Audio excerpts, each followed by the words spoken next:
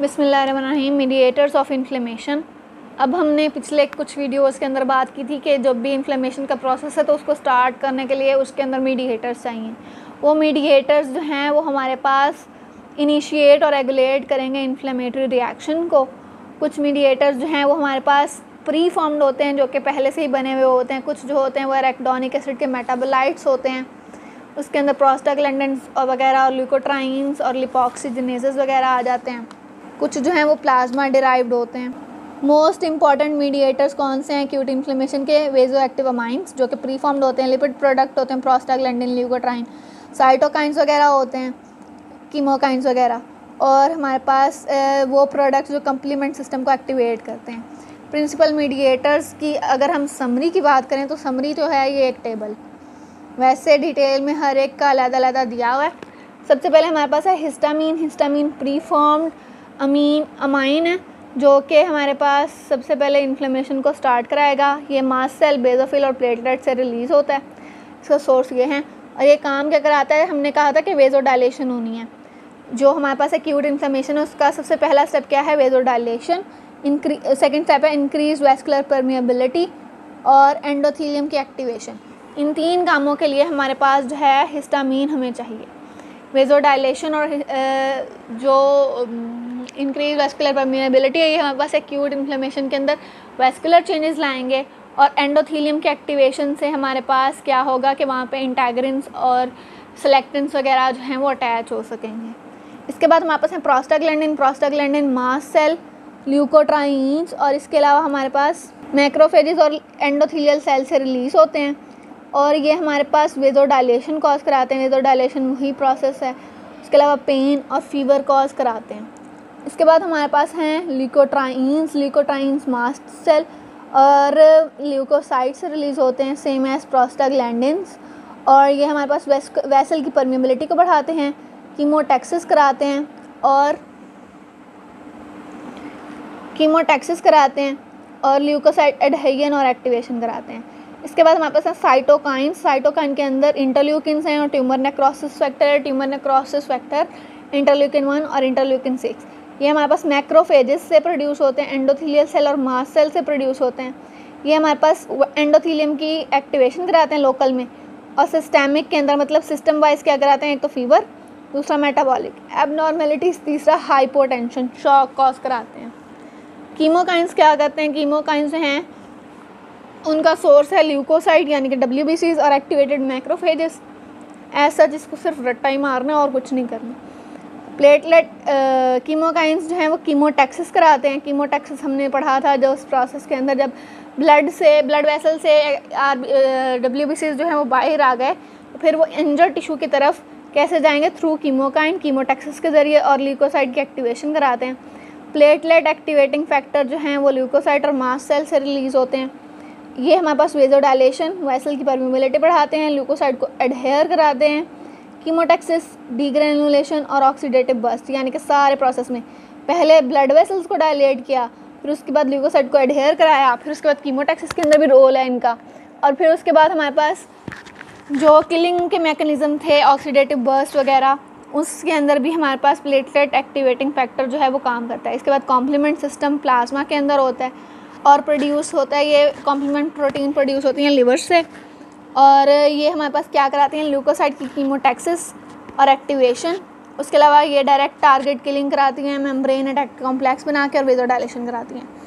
इसके बाद हमारे पास हैं काइनिन्स काइनिन्स जो हैं वो हमारे पास प्लाज्मा के अंदर प्रेजेंट होती हैं और ये भी हमारे पास प्रोटीन है तो प्रोड्यूस होती हैं लिवर में। इनका काम क्या है? वेस्कुलर परमिबिलिटी को इंक्रीज़ करती हैं और स्मूथ मसल की कॉन्ट्रैक्शन कराती हैं। इसके अलावा वेजो डायलेशन और पेन के अंदर काम करती हैं।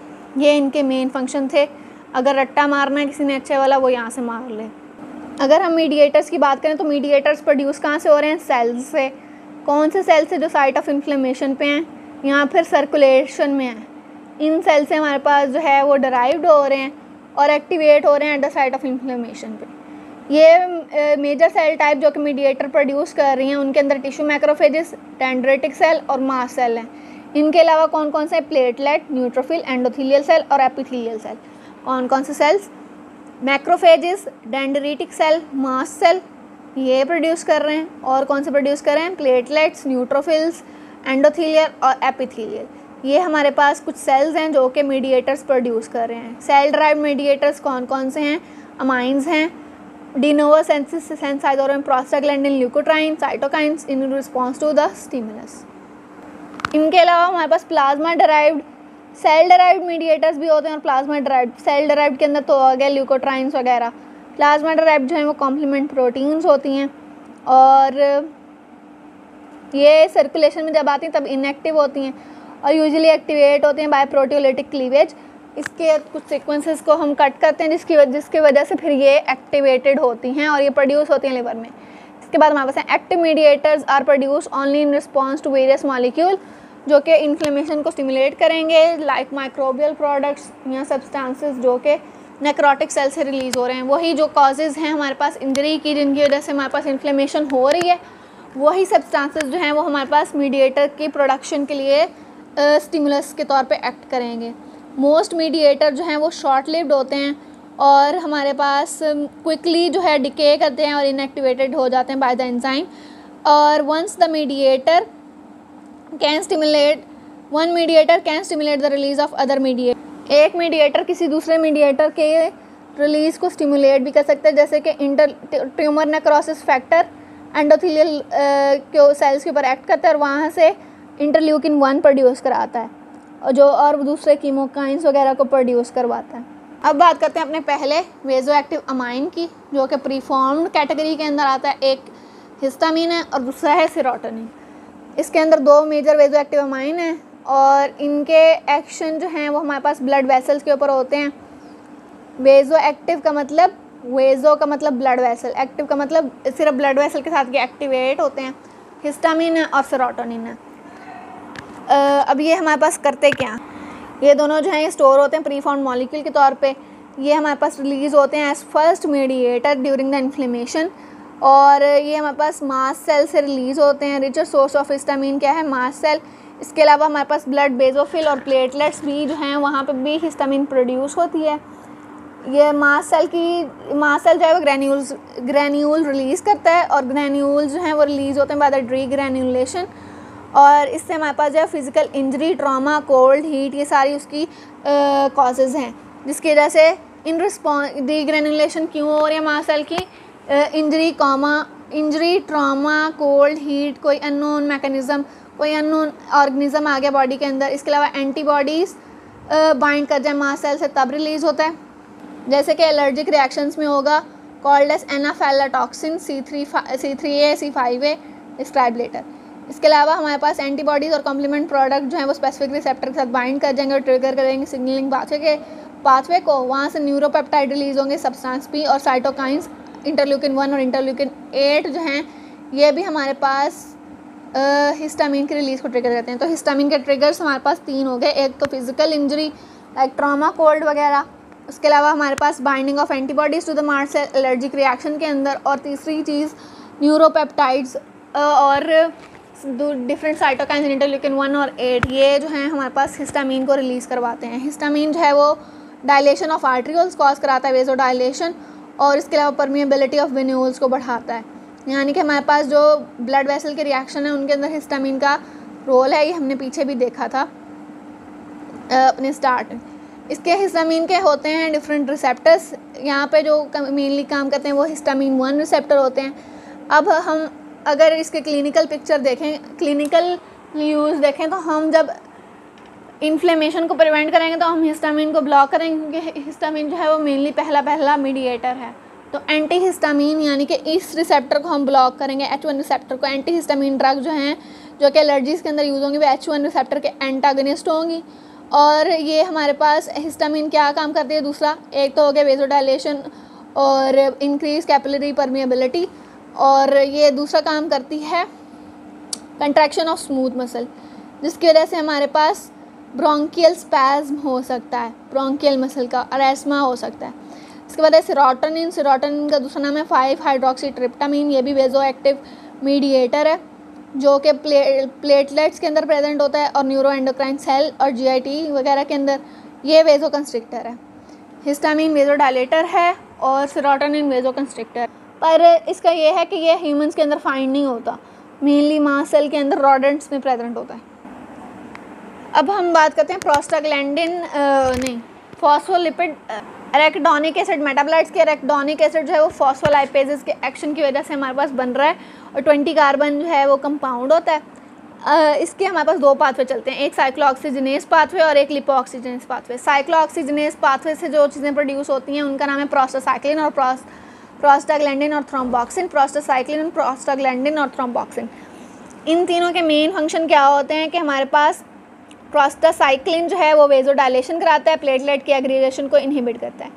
जबकि इसके एग्जैक्टली ऑपोजिट काम करता है thromboxane T X A two वे ये वेजो कंस्ट्रिक्शन कराता है और प्लेटलेट को एग्रीगेट कराता है। ये दोनों आपस के ऑपोजिट एक्शन हो गए। प्रोस्टासाइक्लिन क्या करा रहा है? वेजो डायलेशन और प्लेटलेट की प्लेटलेट एग्रीगेशन की इनहिबिशन और हमारे पास प्लेटलेट्स को एग्रीगेट करवा रहा है और वेजो कंस्ट्रक्शन कौन करा रहा है? थ्रोम्बॉक्सिन इसके बाद हमारे पास है प्रोस्टाग्लैंडिन प्रोस्टाग्लैंडिन भी हमारे पास वेजो कंस्ट्रक्शन करा वेजो डायलेशन करा रहे हैं और वेस्कुलर परमेबिलिटी को इंक्रीज कर रहे हैं। इसके अलावा जो प्रोस्टाग्लैंडिन ई टू है ना, ये हमारे पास स्किन हाइपर सेंसिटिविटी के अंदर रिलीज़ होता है। इन सब में फ़र्क क्या है कि इन सब के अंदर जो डबल बॉन्ड है ना, वो डिफरेंट पोजीशन पे प्रेजेंट होता है, जिसकी वजह से इनके नाम वगैरह चेंज होते हैं स्ट्रक्चर चेंज हो गए हैं फ़ंक्शन भी चेंज हो गए हैं। इस पाथवे को ब्लॉक किया जाता है थ्रू डिक्लोफेन आइब्रोफिन एस्प्रिन और इंडोमेथासिन इनके ज़रिए और ये हमारे पास क्या करते हैं कॉक्स वन और कॉक्स टू जो इंजाइम यहाँ पे हैं साइक्लोक्सीजनेज वन साइक्लोक्सीजनेज टू इनको ब्लॉक कर देते हैं जिसकी वजह से प्रोस्टाग्लैंडिन थ्रोम्बॉक्सिन और प्रोस्टासाइक्लिन्स नहीं बनते इसके बाद हमारे पास है सेकेंड पाथवे जिसका नाम है लिपोक्सीजनेस पाथवे लिपोक्सीजनेस पाथवे के अंदर हमारे पास H PETE hydroxy peroxide eicosatetraenoic acid H PETE और H HETE H E D E और एच पीट ये बनते हैं। ये जो हमारे पास एच पीट है, ये हमारे पास ल्यूकोट्राइन ए फोर के अंदर कन्वर्ट होता है। Leukotriene A four B four के अंदर भी कन्वर्ट हो सकता है और सी फोर के अंदर भी कन्वर्ट हो सकता है। A four C four D four E four ये एक तरतीब से आएँगे। ये सी फोर डी फोर और ई फोर का काम क्या है? ये हमारे पास ब्रोंकोस्पैज्म करते हैं और वेस्कुलर परमेबिलिटी को इंक्रीज़ करते हैं। यानी कि एस्मा करवाते हैं और वेसल्स की परमेबिलिटी को इंक्रीज़ करते हैं। इसके अलावा कीमोटेक्सिस के अंदर इनका रोल है। जो हमारे पास ल्यूकोट्राइन ए फोर से बी फोर बना है, ये हमारे पास दूसरी जगह से भी ये जो एच ई टी ई बना था, इससे भी बनता है ल्यूकोट्राइन ई फोर जो कि कीमोटेक्सिस के अंदर रोल प्ले करता है। ल्यूकोट्राइन बी फोर कीमोटेक्सिस के अंदर रोल रोल प्ले करता है। अच्छा इसके अलावा हमारे पास ये जो लिपोक्सीजनेज है, इसके अंदर से हमारे पास twelve L lipo, twelve lipoxygenase जो है वो लिपोक्सिन ए फोर और बी फोर के अंदर कन्वर्ट होगा और ये हमारे पास वाहिद है जो कि इनहिबिट कराएगा इन्फ्लेमेशन को। लिपोक्सीजनेस जो है वो इनहिबिट कराएगा इन्फ्लेमेशन वेजो डायलेशन कौन कौन करा रहा था? प्रोस्टा ग्लैंडिन यानी prostacyclin sorry pros P G I two जो है वो प्रोस्टासाइक्लिन है।